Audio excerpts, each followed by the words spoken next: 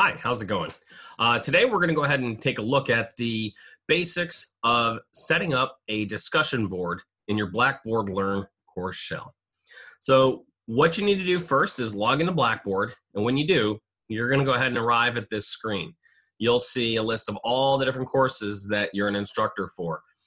Now, for today's purposes, I'm going to go ahead and select a course that's already finished. So I'll pick my composition class from this past fall semester. So that way we can use that as our sandbox to play around in, and I won't monkey things up for my current students. So what you do is then you click the course that you want to go ahead and add the discussion to.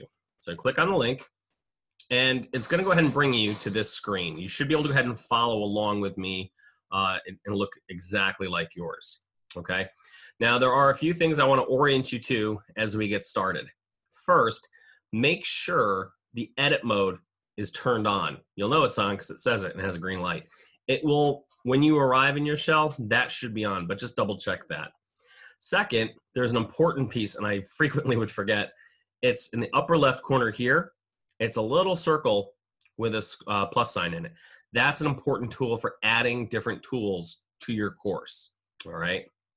Another important piece you're going to want to be familiar with this little circle here, right? That allows you to see your course from the student's perspective.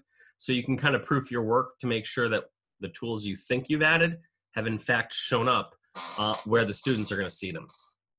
So the first thing we need to do is we need to go down to our course tools and we need to select the discussion board. So scroll down on the left-hand side here, you can follow my mouse, and you're gonna see course tools. Click on the arrow and you're gonna see a whole list of different options become available. Scroll down and you'll see discussion board right here. So click on that link. When you do, it's gonna bring you to this page right here. So I have no idea what these numbers mean, but that's not important. That's your discussion board. You click on that link and it will bring you to a very empty forum. Now, forums are useful because think of them like the shelves where certain conversations will take place. All right. I like to organize, organize them either by book as an English professor or by topic as a writing professor. All right. I may also want to organize them by week. And that's really useful st- for students because they can think to themselves, hey, it's um, you know March 22nd they know exactly which discussion they should be engaged in at, on that given day. So the first thing you need to do is you need to create a forum. All right. So here's the create forum button, which we'll click. And then what you need to do is you need to figure out what is this forum going to do. Now there's one forum that I like to make and it's called study hall. Study hall is going to be a place where students can talk to one another, ask each other questions, share useful links and information, and it's an area that you don't have to monitor. Students should know that if they have a question for you or something that they want to share with you, email is the best way to be in touch with their professors. So this is some place that I'll drop in every now and again just to make sure it's not gone wild. Um, but it's a good place for students just to engage with one another. So in this text box, box, you want to go ahead and provide a description of what sort of activities take place here, what your general expectations are for behavior uh, and performance. So this is a place for student engagement. Students can ask each other questions and share resources. Faculty will occasionally monitor but not participate in this forum. Faculty questions are best handled through email.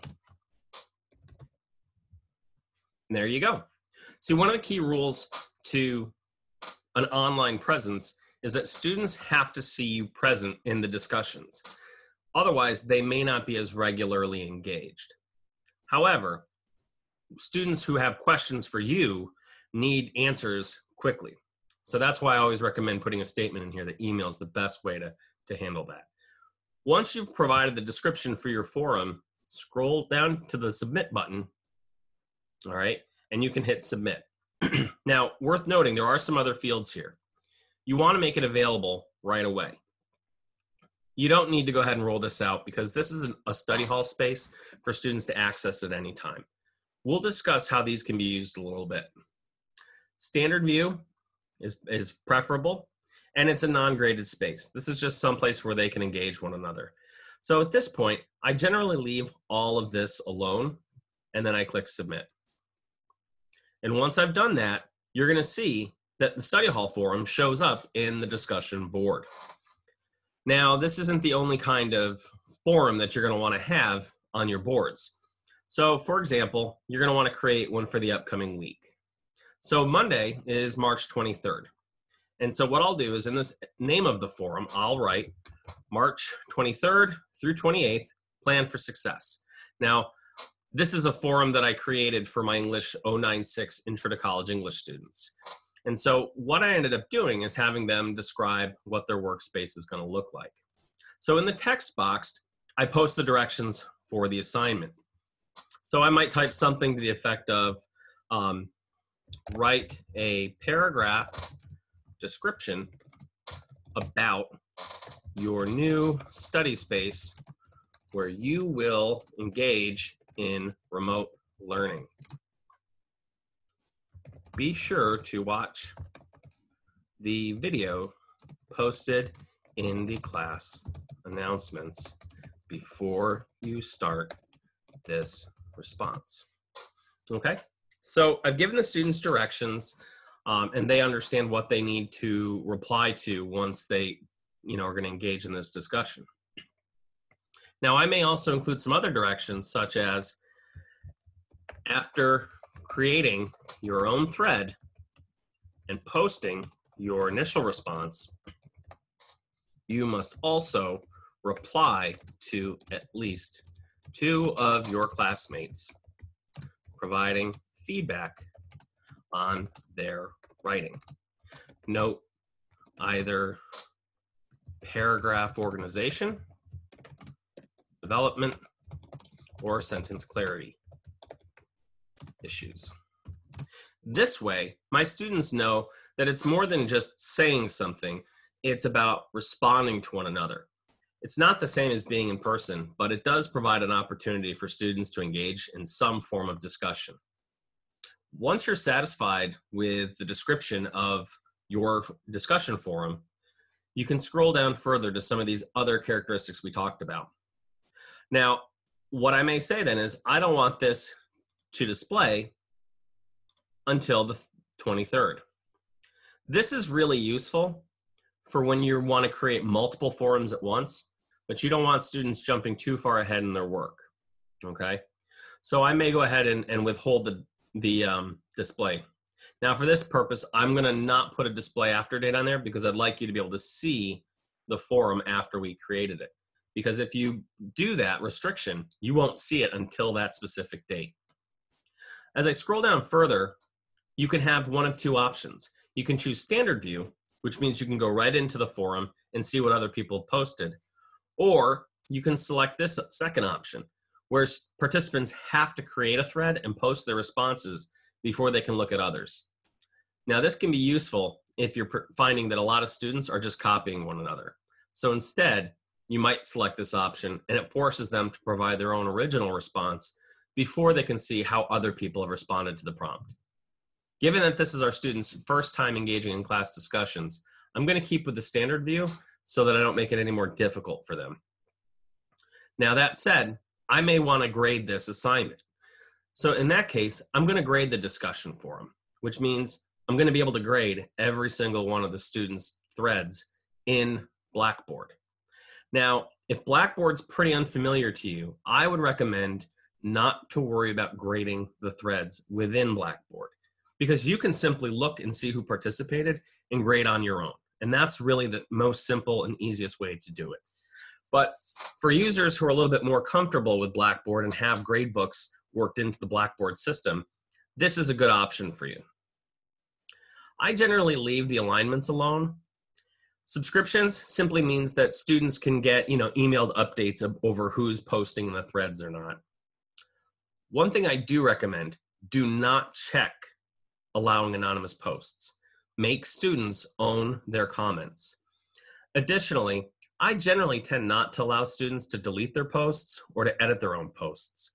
And the reason for this is that if we're supposed to respond to what they posted and then they change what they posted, it can lead to a really confusing online discussion. Students can always go ahead and post a response to their own thread, clarifying their position if they feel like they didn't do as good a job as they wanted to initially. And generally, that's about it. So at this point, once you have your forum all set, click submit. And when you do, your forum has been created and students can now see your forums and go in there and participate. So let's go see how that works. Let's click on March 23rd, 28th Plan for Success. And that's gonna bring us right into the forum. So students are gonna have to go ahead and create a thread. And you can do this too. And again, I highly encourage you to participate in your discussions. If students don't see you participate in the discussions and responding to what they write, they won't participate. Generally speaking, I would I always try to aim for at least five responses over the course of a given, you know, week's discussion. I don't have to reply to everybody, but I want them to see that I'm actively engaged too. I'm modeling the behavior that I want them to demonstrate. So we create a thread. And when you do that, you're going to see the description of the assignment posted again. So students will be able to look at that, you know, as they create their response. So for the subject, you know, you want to put, you know, I usually put like, you know, um, Forrest's post, you know, something to let people reading the thread know that it's for me. Now, if it's something that, you know, you want the students to read, I'll frequently, you know, put must read, uh, you know, teacher feedback, something like that. And that way, when students see that thread amidst all of the others in the forum, it kind of catches their attention. So I might say, uh, students, I'm noticing many of you are not proofreading, you're writing. Please check before posting. Whatever it is that you want to post in your thread, you can go ahead and type that right in there. And then when you're satisfied, scroll down click submit, and your thread will post. And you can see it right here. And it tells you the title of the thread, tells you who the author was. This is also nice because it tells you what sort of activities involved with the posts. Generally speaking, I'll tend to go into posts that have little activity, and that's where I'll provide some feedback. Now, the last piece I want to go over with you briefly is how to go ahead and reply to a, a post. So again, you click on a post, and you're going to see you have these options. You can reply, you can quote. Now, as a faculty member, you will have the opportunity to edit other students' threads. They will not have this option. Same with delete.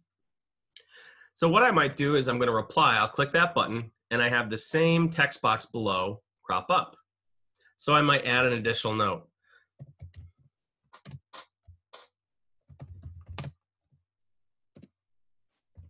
So please write your posts on time again, whatever it is that you want to provide the reply to, you can type that in there, click submit, and there you go. So at this point, you've created your discussion board. You have a study hall forum, and you have at least the first of many different discussion forums created. But what you're going to notice is if you click on the student view button, all that hard work and you can't see it. This is why the student view is really helpful to proof your work. Nowhere in here can you access the discussion board, which means this is not ready for students to go and participate with just yet. So to leave student view, upper right corner, and you click exit preview. Delete any user preview data. And then you're back into your familiar editor mode. Now what you want to do is go back to that circle I mentioned with a little plus sign in it right here. And you're going to pick Tool Link. I like to call it weekly discussions. You can call it the discussion board. Whatever you want to do is fine. Then under Type, you're going to scroll down and select Discussion Board. This is going to tell the computer to pull that discussion board you created out of the back and put it up front for student use. Then lastly, click on Available to all users and hit submit. Now you'll notice the discussion board link shows up and this is the space where your students can access it. I like to push this all the way up near the top so they can more readily see it. So let's go back to student view and check our work to make sure it came out okay. When you do that, this is exactly the view that your students are gonna see. And sure enough, there it is. When they click on discussion board, it's gonna bring them right to the boards where your different forums are located and they can participate in the forums just like you'd like them to do. So I hope that this helps provide you with some feedback in terms of how to create a discussion board, how to create the different forums, creating threads, and creating replies in your discussions. I've also included a how-to for students as well, so feel free to share that with your students uh, to help them navigate the, um, the class discussion boards here on Blackboard Learn. Thanks a lot, and best of luck moving ahead with the, uh, with the new transition into Blackboard and online remote learning.